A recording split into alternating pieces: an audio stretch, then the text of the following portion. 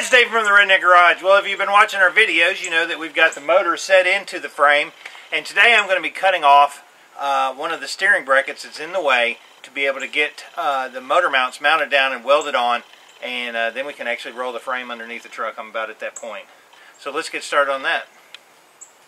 Here it is. Here's my Google Nexus 5X phone. We're going to take a look at it. It's got the new charger the C charger, which is supposed to be faster. And there it is. There's a new phone. Super cool. Okay, Google. What is a Jeep? Jeep, a small, sturdy motor vehicle with four-wheel drive, especially one used by the military. And something you got to work a lot on. This is actually the bracket here that's in the way of getting my motor mount on, so I'm going to take a wire wheel and look for the uh, weld spots, and I'm going to cut it off, and uh, then I can measure it on the other one where it goes in, but this one's not as critical as certainly the motor mounts that go on, and I can measure um, where the motor mount should actually be from my old one that I saved.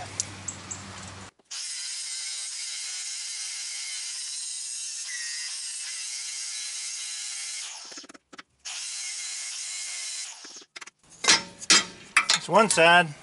I found out that the Milwaukee toolbox is shipped. Uh, it's going to be delivered here at the house, and I got all kinds of crap to clean up in here. And all my hoarding of years of tools and stuff, I'm going to have to go through my toolbox, get rid of some stuff. I've got one toolbox that's going away, so there's a lot of work that I got to do. Thought I'd take a look at where we're at right now.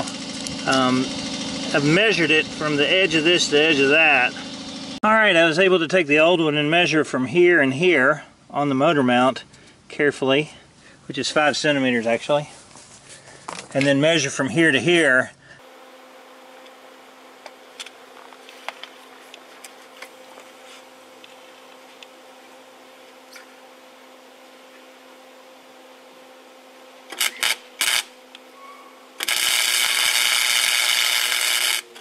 And I gorilla welded it up and that looks good. Now I've got to put my side plate on and this side will be done and then I can start getting my other side uh, straightened up. But this should be just about exactly where the old one was and it looks good.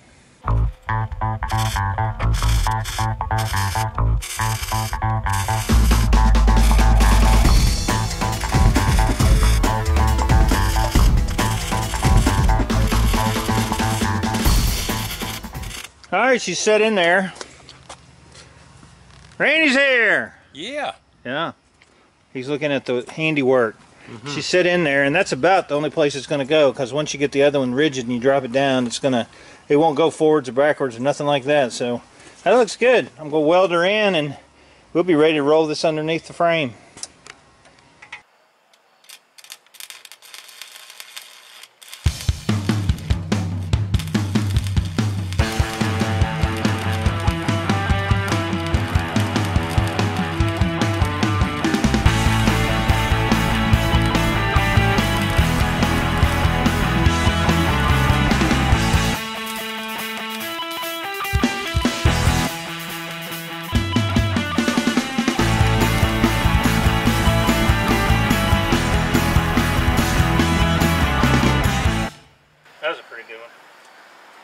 Sounded good.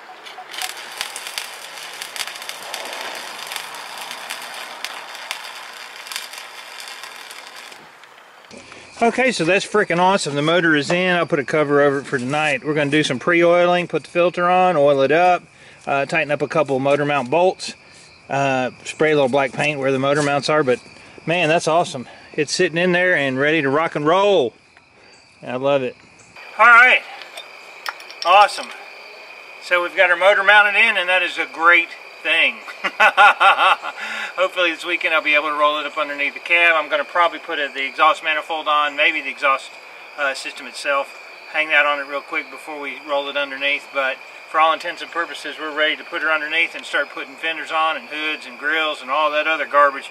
Uh, we've got a Rough Country from Mitch, a one inch lift kit, uh, body lift, and that's going to be setting it down on the frame. And uh, then we can continue on finishing the Rough Country 3.25 lift, uh, and then we'll go from there. But got a good lick done, and it's been a long day, let me tell you. I'm going to have my Fat Man beer, Michelob Ultra, and sit back and look at the engine a little bit. I'm David from the Redneck Garage. Keep turning wrenches.